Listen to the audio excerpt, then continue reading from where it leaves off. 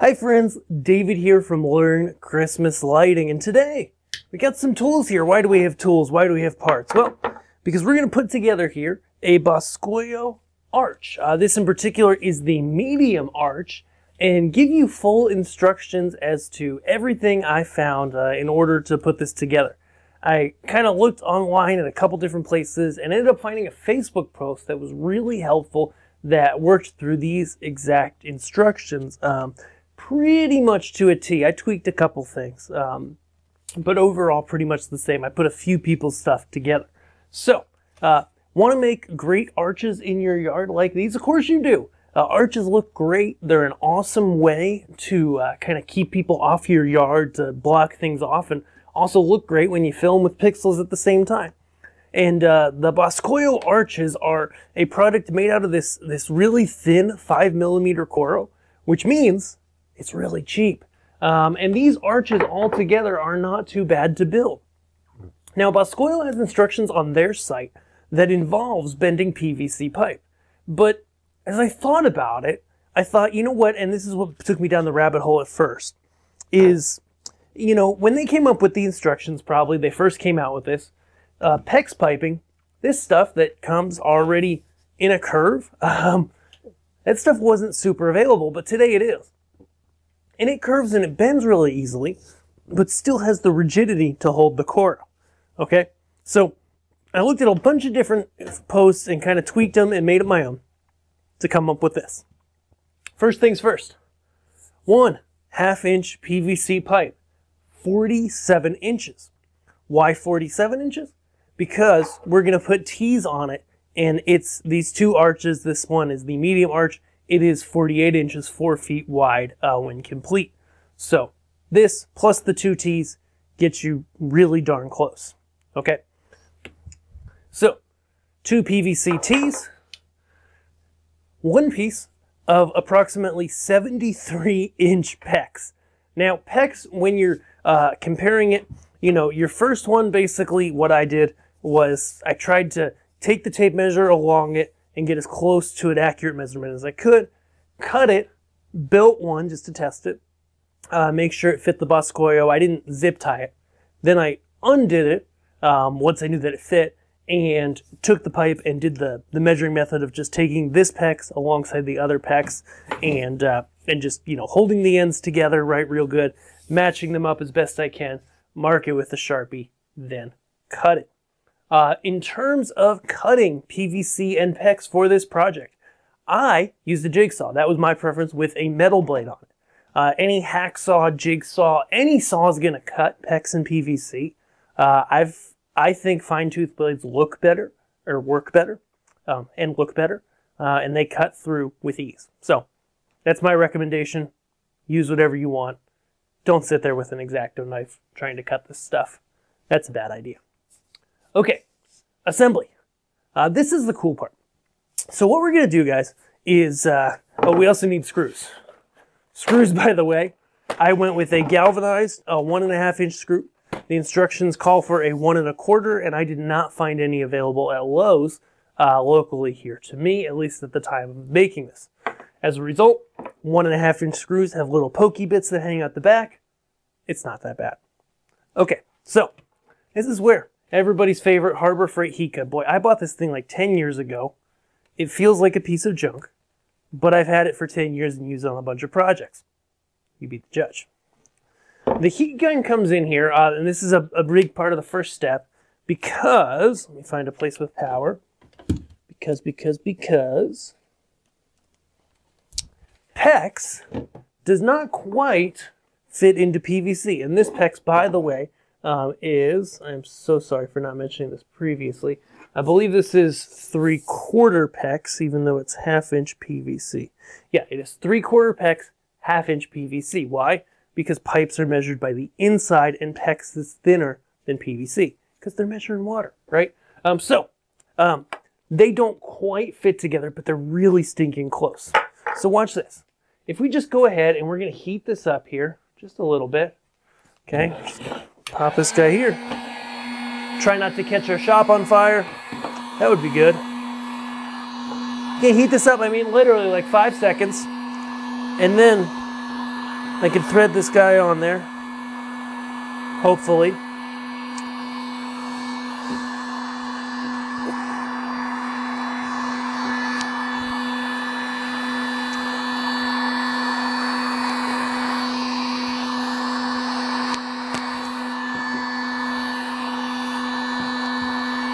Do it again.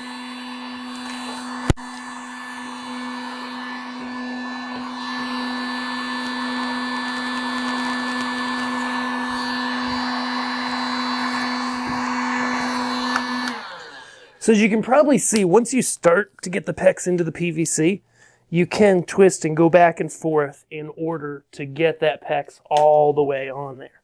Okay, just for a separate view. Push all the way down. You, you really want to see when you look down the fitting, you want to see the PEX going down as far as you can because we're ultimately, with these self-tapping screws uh, from the hardware store, we're ultimately going to secure it all. Okay? So I'm going to check those guys, make sure they're really good. All right. Now, back to me. Uh, now, insert PVC. So we've got our 47 piece, 47 inch piece, and this is where we'll make sure these T's are lined up really good. The open end of the PVC T is going to go down uh, because the best way to put these in your yard is to grab an 18 inch piece of rebar uh, I bought some on Amazon that were pre-cut because, let's face it, I don't feel like cutting a bunch of metal. If you do, then do that because um, it'll be cheaper. And we insert all these together and we get, ta-da, something that's arch-shaped. So now let's let's attach these together. Put my heat gun aside here. Grab my Coro, just a hot second. But make sure not to put the heat gun on anything that, you know, will catch fire while it's hot, right?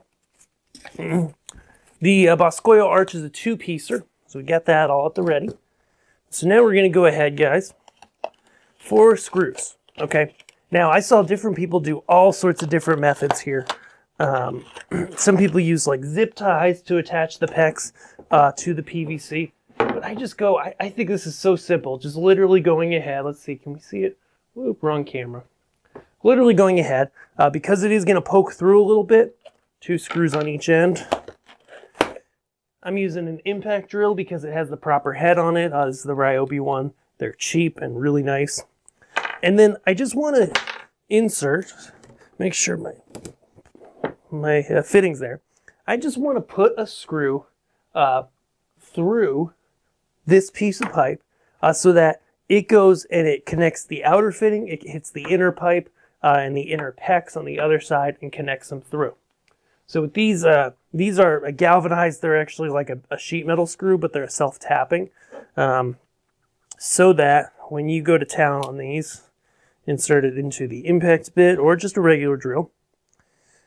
When you start really putting the pressure on, once those threads grab, it goes. It really goes through. Let's do it again. This time from the front. So do the PEX side. I found the PEX, if you don't insert it well, you might have to be really near the top of the T. Once these threads grab again, they, they really go.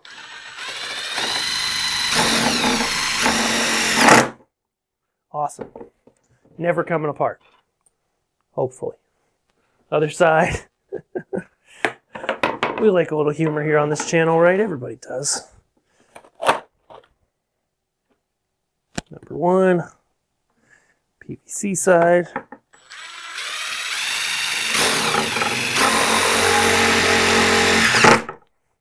It's helpful to have a bigger table than I have as well. Number two, PEX side.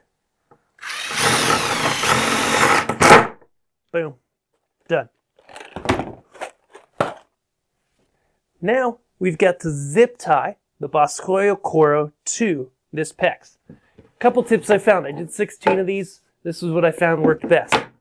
Place it in front of you, upside down. I know you can't see the whole thing, but that's okay. Grab your medium arches, lay them out. Because the difficult part here is that the PEX, as you can probably see, is not quite the same arch as the core. Okay? the arch doesn't quite let, land up. Now it should, because it's a 48 inch arch and wide, and it's uh, six foot or 73 inches roughly of PEX, it should line up right. But the PEX isn't quite the right curve from the factory or from however I left it, and I did leave it out in the sun a little bit, which helps.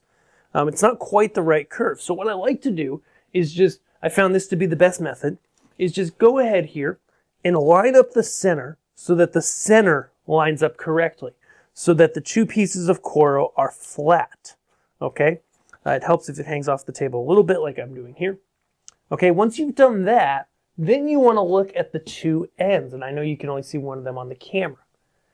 And you want those two ends on the, the ground side to be at the same level approximately. Because then what we're going to do is we're going to zip tie from the center out on the PEX, uh, attaching the coro from Boscoyo to the PEX. And I like to um, make sure this one's actually backwards. Um, so pro tip here, put the pointy bits up while you do this because the coro's on the bottom. That way the pointy bits of the screw will end up away from the guests watching your show and the little kids who are like, ooh, touch that, which are my kids, um, etc. So, once again, line up that Boscoyo uh, Coro perfectly. It's not going to line up perfectly at the ends, and that's going to drive you nuts. And then grab some zip ties and some cutters. Of course, mine are across the room, so I will cut those later. Uh, and I go and I do the center first. So I get everybody lined up, all happy, and get the center lining up first, just right. Keeping the zip tie, the zippy part on the back. And I went with blue PEX, by the way, because I figured at night it would be darkest, less noticeable. Who knows? You could paint your PVC black as well. That is your choice, okay? And so then we're just going to go ahead and zip tie through this the rest of the way. So the key here, what I've found works really well, is get those two center zip ties in first to lock down that center. Okay, just like I'm doing here. And when you first put it on, don't go super duper tight. Tight. Give yourself a little bit of room to work. The reason why is because then you can make adjustments. Okay, I see now at my two ends that I'm matching. So now I can go ahead, tighten down those zip ties, and do the rest. And then once you've done all that, and I'm not going to bore you with that on camera because who needs that?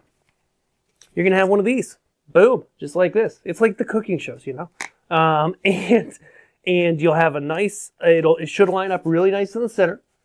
It should line up really nice at the two ends, or pretty darn close. And you know, it doesn't have to be perfect, guys. It's just flashy lights. Plus, I bet your yard isn't 100% level. So, uh, and then you can put pixels in. Uh, what I'm doing with these personally, just on the pixels, is I actually uh, am doing double arches and I zip tie the two together at the edges. And then with the pixels, these are, I believe, 33 pixels each. I just go 66 pixels, uh, put a new X-Connect plug on the end, and uh, then I have two arches that can fold together with pixels in them Boom, fold away nice for storage. Maybe put a bungee ball on the other side, maybe not. Then boom, I can put that out, stake in the rebar, lay out the arch, done. So, wasn't that fun? I hope you enjoyed my method to making these Boscoyo arches. Ultimately, uh, there's a lot of ways to build these, but I think that with the modern tools and uh, materials that we have today that we can get our hands on, like PEX, uh, this process can be made a lot easier if you follow this guide. So I hope this helps. And if you're new to Christmas lighting, head over to learnchristmaslighting.com. We got a free guide we want to put into your hands. It's just four things that I, I really wish, the things I really wish I knew before I began in this hobby. Because I've seen myself and so many people waste so much money buying stuff you don't need and not getting the right stuff. So we have that guide there on the site and we will see you guys in our next video. Thanks.